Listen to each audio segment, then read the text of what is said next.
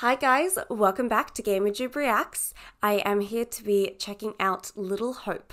So this is the second in the Dark Pictures anthologies and I really enjoyed Until Dawn and I liked Man of Medan but it definitely wasn't as good as Until Dawn. But I'm quite excited and hopeful for Little Hope and um, yeah, I just am excited to see what they got. So let's check it out.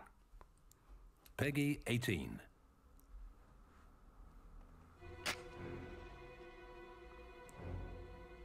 Hello. Hello again. You survived the Man of Medan.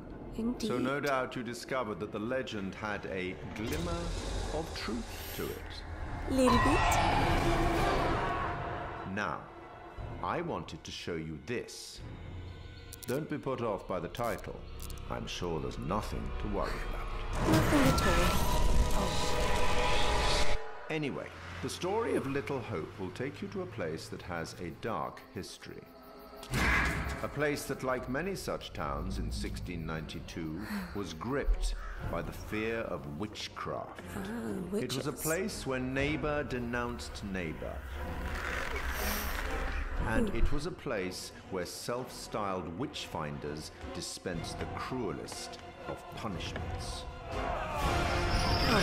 So much death. Oh boy. The true question, of course, was whether the accused really did consort with evil, or was there a dark presence manipulating those who accused them? Together, by God's grace, little hope will prevail. Or perhaps it was something else entirely. I dare say we'll find out. Hmm? And find out you must if you want to stay alive and keep those around you safe. What is that? Oh, One thing you will My God. certainly discover is that all that suffering, all that malice leaves a profound effect. It creates repercussions.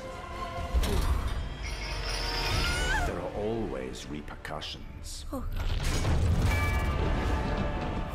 is that? It's that creature.